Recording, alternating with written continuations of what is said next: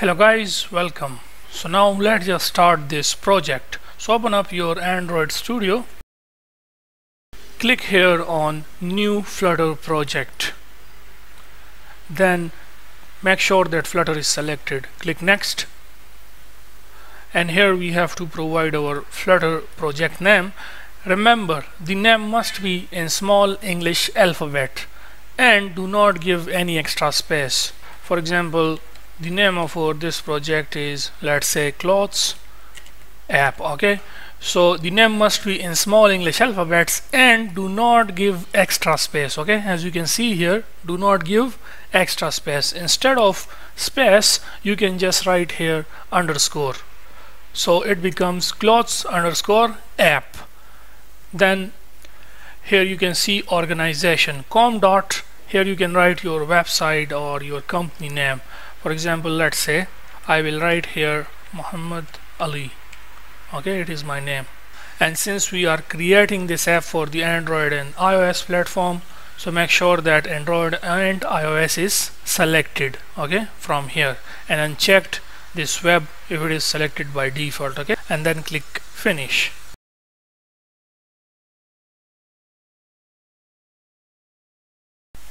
so the project has been created successfully as you can see here. And here is our project okay? Make sure that from here this project is selected okay? So this is our project which we just created clothes underscore app. If you expand this we have lib okay? Inside the lib we have main.dart file where basically this is the starting point of our flutter app by default here is some code but we do not need this default code okay? For example this one my home page and the my home page stat just remove this. Okay also let's remove these comments.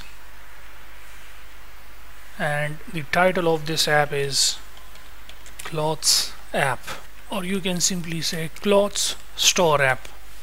Whatever title you want to give to it also remove this const my home page. Now we are going to create a new folder. Right click on lib new and then the third option directory. If you are using Mac then in Mac it is by the name package okay? Just click on this third option directory or package. And then here we have to provide our folder name which will be by the name users so here you can see then press enter okay? Uh, here you can see the users folder has been created inside the lib folder which you can see here. Then let's create another folder. So we will simply click on lib. Right click on lib then click new and then the third option which is directory. If you are using Mac then it is called package okay? Just click on this third option which is directory or package. Then you have to write the folder name which is new users okay? And then press enter. So user folder has been created inside the lib folder which you can see here. Now right click on lib new directory. Let's create another folder and it will be by the name admins or you can say admin. So users folder and admin. Now inside the users folder we will we will create dart files where basically we will write code for implementing the users feature or you can say the user app. While in the admin we will implement the admin portal or the admin panel so first thing first which is basically we will start from the users. So inside the users right click on users folder. Then click new and then click directory. We are going to create another folder inside the users now okay? And that will be authentication. That is for the login and sign up. Press enter so inside the users folder authentication folder is created successfully. Then right click on authentication new dart file. And let's create our first dart file which will be by the name login underscore screen. Remember the name must be in small English alphabet and instead of space you can write here underscore okay? Just like this. Then press enter. So inside the authentication we have our first dart file which is login screen dot dart file.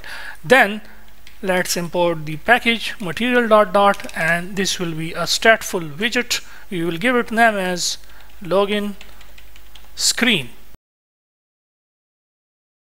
for now we will do nothing but just we will return here a scaffold widget and just we will display an app bar and in the app bar we will display that is this is the login screen using the text widget. So we can say login screen. So for now our app will starts from the login screen but of course later in the course when we will implement the complete app then we will add a condition which will check that if the user is already logged in then we will allow the user to go to the main app. Otherwise if the user is not already logged in then we will send the user to the login screen in order to log in or you can say send the user to the registration screen